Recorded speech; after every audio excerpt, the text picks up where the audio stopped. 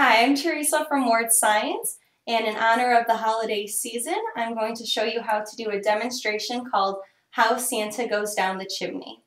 So to do this demonstration, all that you will need are matches, a deshelled hard-boiled egg, a glass jar, and a little cup of water.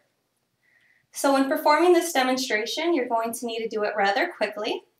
So the steps are that you will light a few matches, drop them into the jar, and then place your egg that has been dipped into the little water cup right on top of the jar, and then we'll see what happens.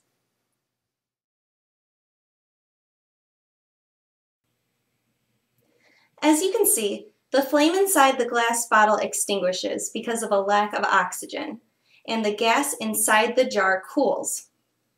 This causes the pressure inside the jar to become less than the pressure outside of the jar.